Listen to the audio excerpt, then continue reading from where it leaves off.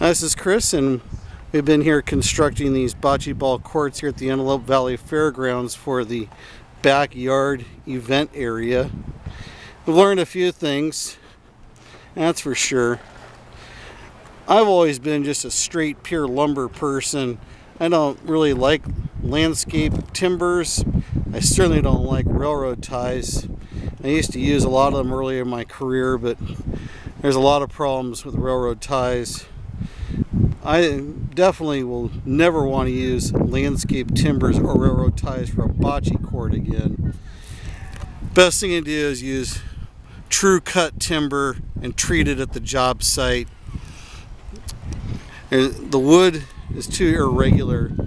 For this area here, we wanted to make a temporary bocce court facility, but we wanted to make it look really good.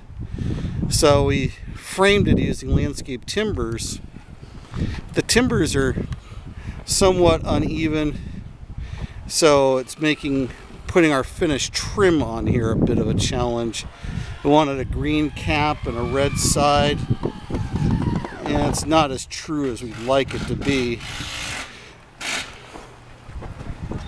So just one thing to keep in mind if you're building a bocce ball court, if it's going to be a la natural, well, the timbers are okay, but if you're looking for a real fine finish, best off going with conventional lumber and treating it at the job site